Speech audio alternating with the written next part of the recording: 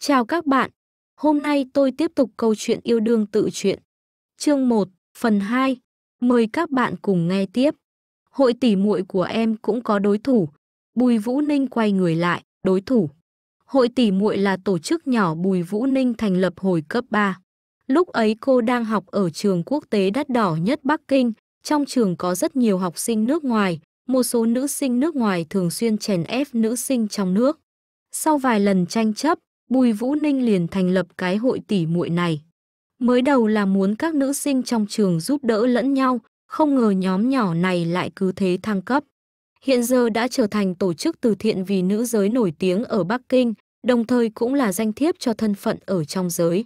Ở Bắc Kinh, tất cả thiên kim tiểu thư giàu có đều tự hào vì có thể tham gia hội tỷ muội. Lâm Úy nói, cách đây không lâu có một người nào đó đã thành lập một hội tên là The Star. Tham gia hội sẽ nhận một chiếc Himalaya, có vẻ như muốn ganh đua với hội tỷ muội. Bên chúng ta đúng là có vài người chịu không được cám dỗ rời đi. Bùi Vũ Ninh nghe xong chỉ nhẹ nhàng khẩy lọn tóc cười nói, vậy thì em phải cảm ơn cô ta giúp em thanh lọc hội rồi. Lâm úy biết Bùi Vũ Ninh căn bản không để ý mấy chuyện này. Cô từ nhỏ đến lớn luôn được mọi người vây quanh. Ở Bắc Kinh to lớn này, không có tiểu thư nhà nào có thể so với địa vị của nhà họ Bùi ở trong giới. Nếu có, vậy cũng chỉ có thể là nhà họ Chu, chẳng qua người ngang hàng kia lại là một thiếu gia. Còn là người xung khắc với Bùi Vũ Ninh, một núi không thể có hai hổ. 15 phút sau, xe chạy đến Trung TAM hội nghị và triển lãm quốc tế Bắc Kinh. Có lẽ là bởi vì buổi đấu giá long trọng tối nay, con đường gần hội quán trải đầy siêu xe, đôi lúc còn có thể nhìn thấy một vài minh tinh. Chiếc Bentley màu đen của nhà họ Bùi chậm rãi hòa vào dòng xe cộ, mới vừa rẽ vào cổng, mấy chiếc xe ở phía trước và phía sau dường như phát hiện ra, tự động dừng lại hoặc nhường đường. Người đậu xe cũng sắc bén phát hiện biển số xe của nhà họ Bùi, vừa nói vào bộ đàm vừa chạy nhanh tới phía Bùi Vũ Ninh. Anh ta dừng cách xe khoảng chục mét, bắt đầu sơ tán mở đường cho Bùi Vũ Ninh, Bentley thuận lợi dừng trước cửa hội quán. Các nhân viên bảo vệ, nhân viên hội nghị và phóng viên nghe tin ùa ra lấp kín cửa vào. Cửa xe vẫn còn đóng chặt, đèn flash cũng đã gấp không chờ được mà sáng lên. Dưới ánh đèn chói mắt, người đậu xe cung kính mở cửa xe. Bùi Vũ Ninh cúi đầu đi ra, đặt đôi giày cao gót giá trị xa xỉ trên mặt đất. Cô đứng thẳng dậy, Lễ phục cao cấp màu vàng sâm panh phản chiếu làm làn da cô sáng lờ mờ trong đêm, đôi bông tai kim cương rũ xuống lấp lánh lắc lư. Cô tiện tay vén một bên tóc dài ra sau tai, trong không khí liền phảng phất hương thơm dễ chịu. Mỗi một động tác của cô đều thể hiện sự tinh tế và vẻ đẹp tự nhiên. Khi mí mắt cô hơi nhấc lên lướt qua máy ảnh sẽ khiến người ta cảm thấy xa xôi không thể với tới. Hội tỷ muội của em cũng có đối thủ, Bùi Vũ Ninh quay người lại, đối thủ. Hội tỷ muội là tổ chức nhỏ Bùi Vũ Ninh thành lập hồi cấp 3. Lúc ấy cô đang học ở trường quốc tế đắt đỏ nhất Bắc Kinh, trong trường có rất nhiều học sinh nước ngoài, một số nữ sinh nước ngoài thường xuyên chèn ép nữ sinh trong nước. Sau vài lần tranh chấp, Bùi Vũ Ninh liền thành lập cái hội tỷ muội này. Mới đầu là muốn các nữ sinh trong trường giúp đỡ lẫn nhau, không ngờ nhóm nhỏ này lại cứ thế thăng cấp hiện giờ đã trở thành tổ chức từ thiện vì nữ giới nổi tiếng ở Bắc Kinh, đồng thời cũng là danh thiếp cho thân phận ở trong giới. Ở Bắc Kinh, tất cả thiên kim tiểu thư giàu có đều tự hào vì có thể tham gia hội tỷ muội. Lâm Úy nói, cách đây không lâu có một người nào đó đã thành lập một hội tên là The Star. Tham gia hội sẽ nhận một chiếc Himalaya, có vẻ như muốn ganh đua với hội tỷ muội bên chúng ta đúng là có vài người chịu không được cám dỗ rời đi. Bùi Vũ Ninh nghe xong chỉ nhẹ nhàng khẩy lọn tóc cười nói, vậy thì em phải cảm ơn cô ta giúp em thanh lọc hội rồi. Lâm úy biết Bùi Vũ Ninh căn bản không để ý mấy chuyện này. Cô từ nhỏ đến lớn luôn được mọi người vây quanh.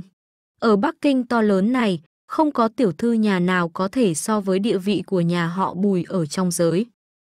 Nếu có, Vậy cũng chỉ có thể là nhà họ Chu, chẳng qua người ngang hàng kia lại là một thiếu gia. Còn là người xung khắc với Bùi Vũ Ninh, một núi không thể có hai hổ. 15 phút sau, xe chạy đến Trung TAM hội nghị và triển lãm quốc tế Bắc Kinh. Có lẽ là bởi vì buổi đấu giá long trọng tối nay, con đường gần hội quán trải đầy siêu xe, đôi lúc còn có thể nhìn thấy một vài minh tinh. Chiếc Bentley màu đen của nhà họ Bùi chậm rãi hòa vào dòng xe cộ, mới vừa rẽ vào cổng, mấy chiếc xe ở phía trước và phía sau dường như phát hiện ra, tự động dừng lại hoặc nhường đường. Người đậu xe cũng sắc bén phát hiện biển số xe của nhà họ Bùi, vừa nói vào bộ đàm vừa chạy nhanh tới phía Bùi Vũ Ninh. Anh ta dừng cách xe khoảng chục mét, bắt đầu sơ tán mở đường cho Bùi Vũ Ninh.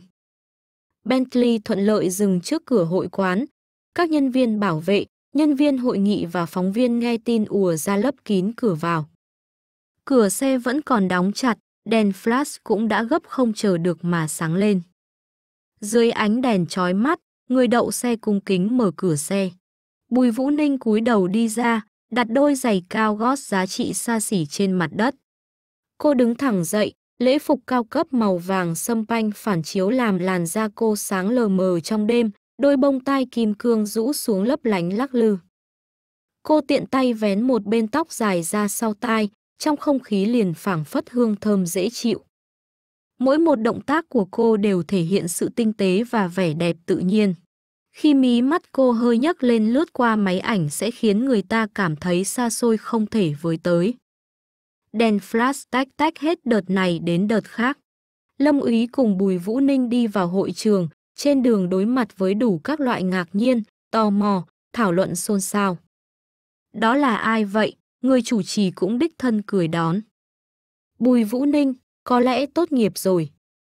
Tên thật quen, à tôi nhớ ra rồi, có phải Bùi Vũ Ninh người lần trước được tổng biên tập của Thiên Kiều tặng một chiếc váy trong tiệc tối ở Tatler Bôn không?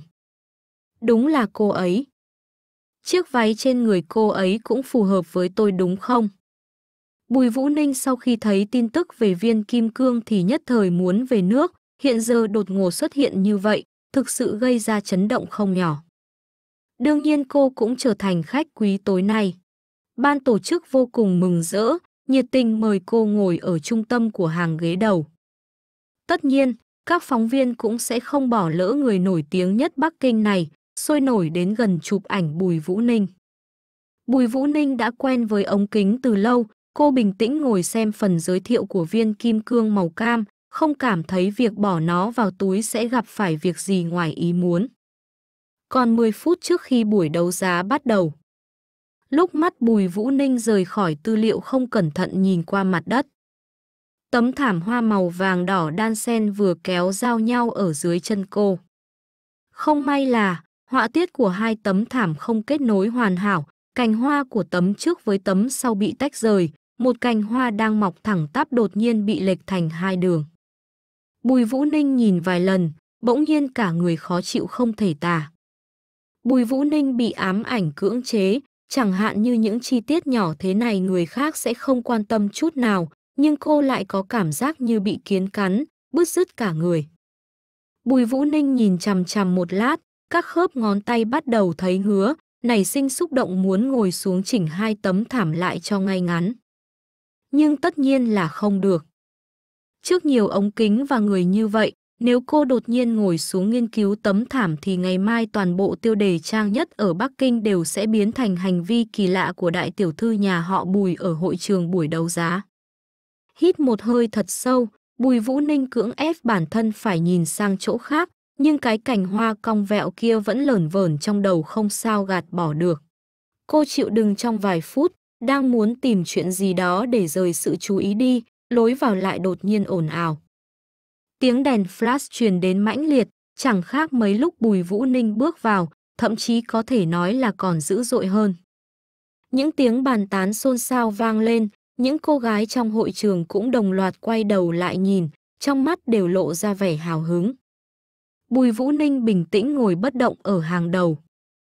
Là người có danh tiếng hàng đầu, cô lúc nào cũng phải chú ý hình tượng của bản thân, nhưng điều đó không có nghĩa là cô không tò mò người đang tiến vào lúc này là ai.